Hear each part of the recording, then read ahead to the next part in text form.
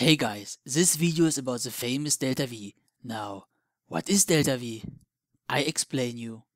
Delta V is the Greek letter D, the capital one.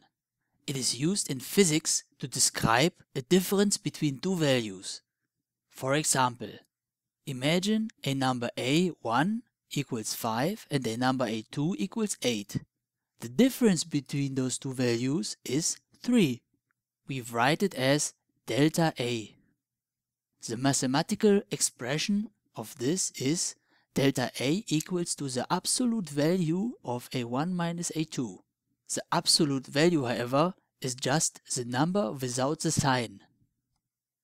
So, what is the relation to KSP? Now look here.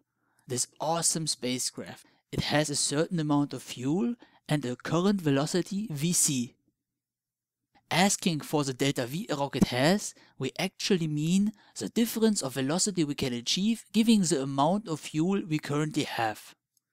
Mathematically speaking again, delta V describes the difference between our current velocity and our future velocity, Vf. This sounds very complicated, but it is far more simple than that. All you basically have to do is to add the delta V onto the current velocity and you get the future velocity. Now let's calculate the delta V. We have a very simple formula for this.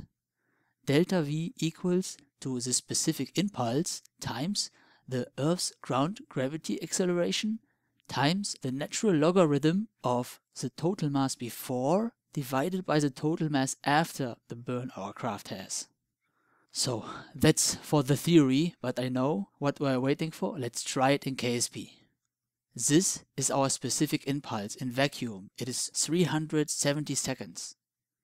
This here is the mass before the burn. It is 4.48 tons. And that is the mass after the burn with empty fuel tanks. It is 2.48 tons. Throwing these values into our equation, we get a delta V of approximately 2150 meters per second. If we now assume our rocket to have a current speed of, let's say, 1500 meters per second, we can accelerate our craft up to 3650 meters per second. That's terrific. Now enjoy this last beauty shot and thank you for watching.